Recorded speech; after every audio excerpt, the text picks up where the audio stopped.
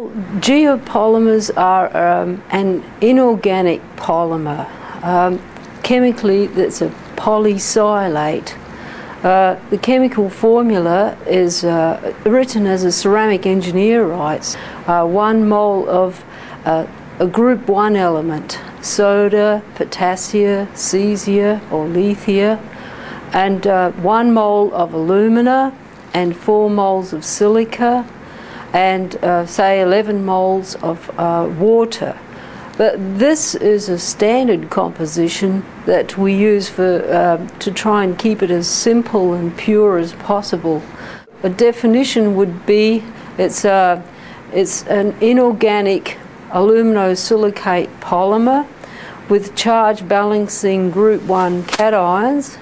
It's a rigid uh, gel which is amorphous and acid resistant, and it has a variety of other potentially really useful properties. It's a new material and its potential hasn't been fully explored yet. The components uh, for making geopolymers come from um, a powder and a liquid.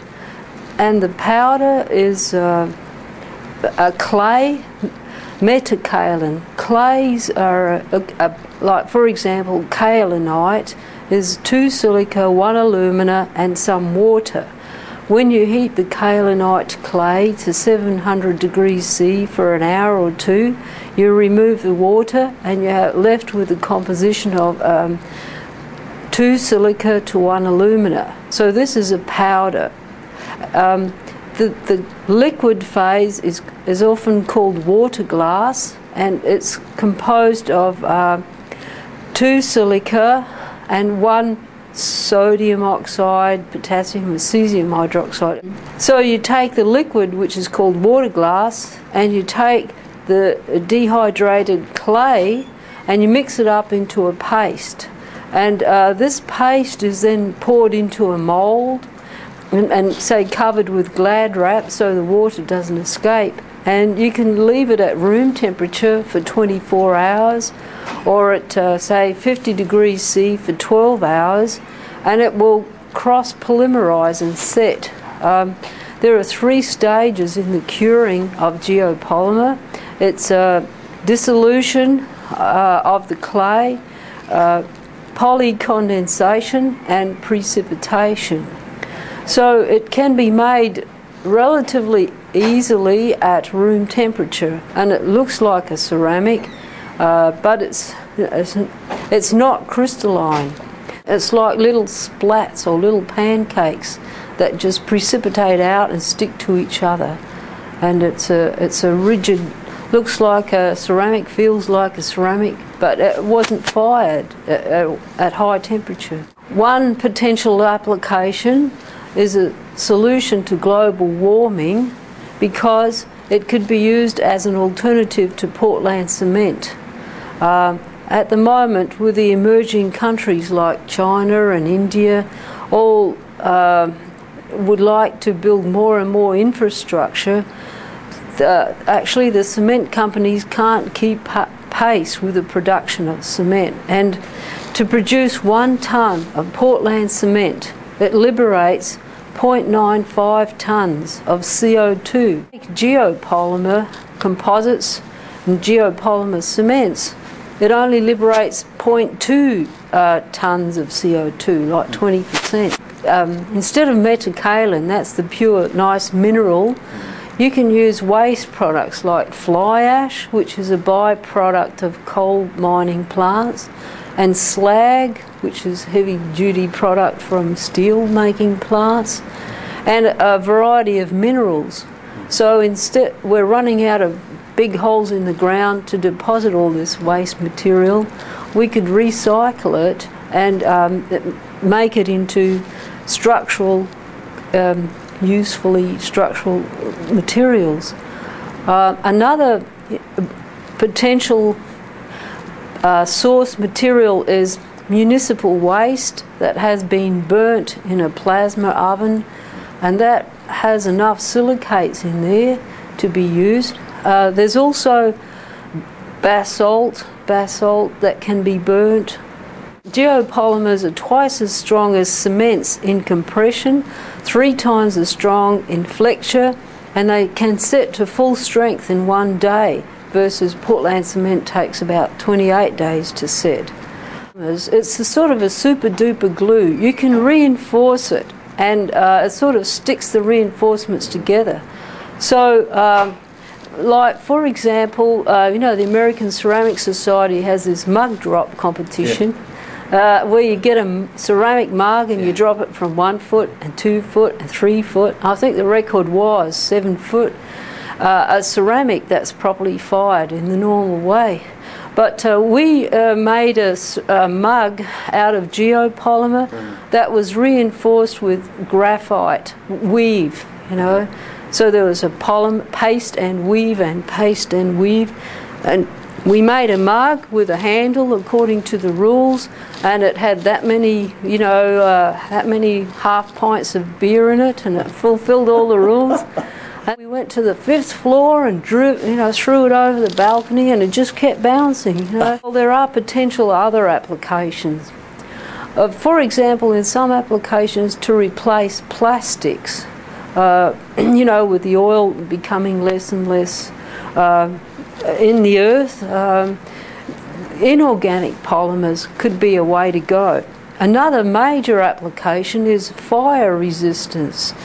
If you take carbon, uh, a cardboard, you know, a cardboard packing box, and you smear geopolymer over it, and then you oxy weld the side that's got the geopolymer on it, it won't burn, you know. And uh, we've made a little model house out of plywood, and we've coated it with geopolymer and oxy welded it, and it wouldn't burn at all. So it's very good in fire resistance. Uh, it, it, it won't burn.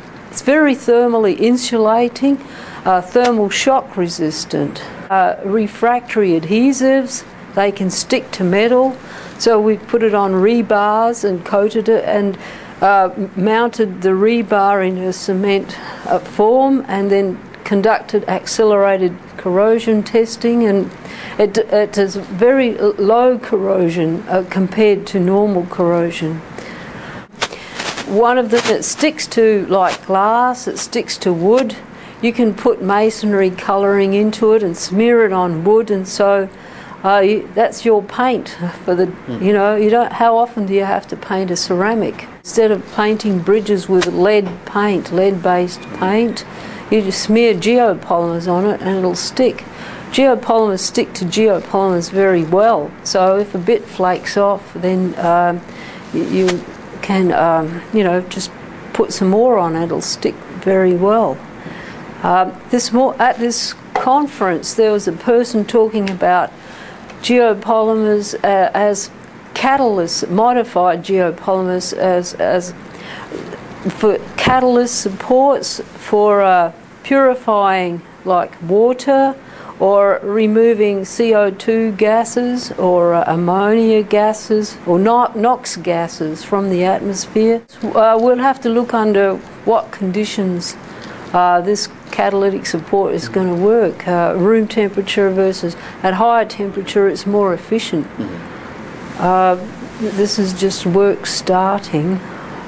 Um, water filtration, we can make porous geopolymers and um, and thermal insulation, again, porous geopolymers. We've, we've made some sort of filters uh, and we took soil uh, water and we put it on the filter and all the soil was filtered out uh, and just came out clear water out the bottom. Hmm. But we'll have to see, uh, you know, um, bacteria are larger than viruses. So, um, well, how can we play with the microstructure and what can we filter out to clean water. Uh, uh, silver kills bacteria, so you can um, decorate the surfaces of the porous geopolymer with bacteria.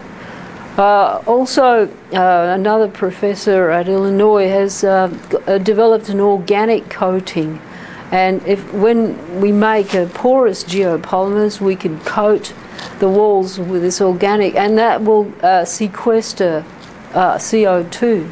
So it's a relatively uh, cheap material and um, to, to make big plugs for those coal plants. There's a Geopolymer Institute that's uh, headed by Dr. Joseph Davidovits, and uh, it's www.geopolymer.org. and uh, so they're tackling a problem how to how to produce 100 million tons of geopolymer for roads in China. China would like to build roads in the next X years. Where do even the ingredients come from?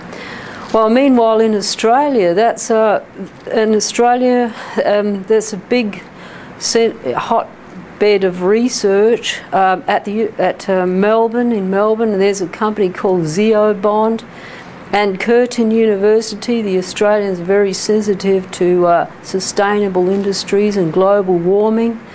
And uh, they've been making railway sleepers, or what you call railway ties, out of geopolymers across the Nullarbor Plain, and um, sewage, pi- uh, sewage pipes, because uh, geopolymers are much, much more acid resistant than cement and so the uric acid in the sewage uh, eats away at the sewage pipes, but the geopolymer pipes uh, can outlast them by many fold. The Air Force is very interested in this. Uh, they actually they supported all our work, and we're very grateful. Uh, but um, there was one two-star general that uh, was um, you know, defending the research that the Air Force is doing, and sometimes they think it's too basic science and too, um, you know, far-reaching. And he said up, uh, and he said, "Oh no, we also do useful things like make this geopolymer composite reinforced that can catch shrapnel, and uh, so that's uh, one possible use for it. Uh, it, uh, it, it, it's pretty versatile material. And the other thing is the you can put in composites like for uh, you know yeah, bamboo shoots and uh, uh, uh, uh bamboo sticks chopped up or um, any reinforcement you, you, want. You know you can uh, usually encapsulate in there.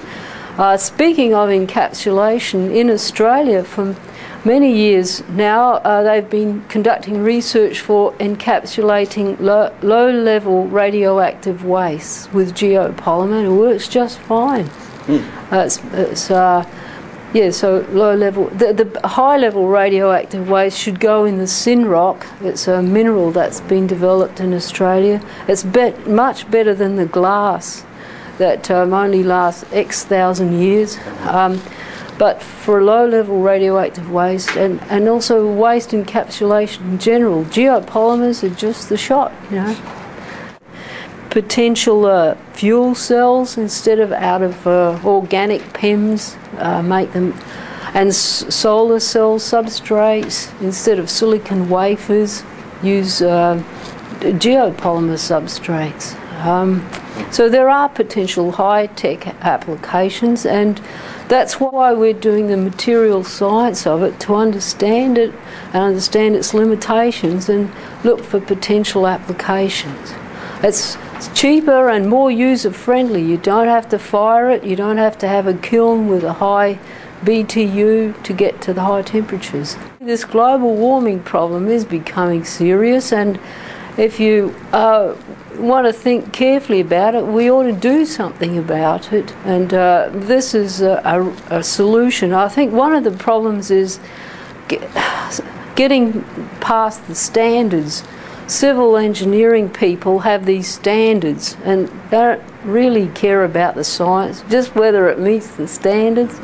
And uh, so, uh, in the past, the standards have been composition based this is the recipe for Portland cement with a bit of leeway here and there.